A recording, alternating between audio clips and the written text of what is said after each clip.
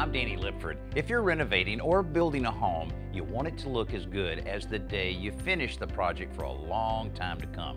That's exactly why using Purple High Abuse and Purple High Impact gypsum board is a great idea.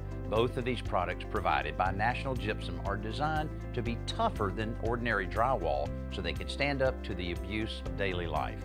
They both are also XP drywall, which stands for extra protection against moisture, mold, and mildew.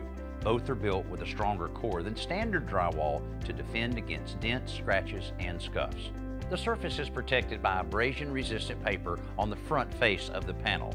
Now this makes Purple high abuse great for high traffic areas like entryways, laundry rooms, and hallways.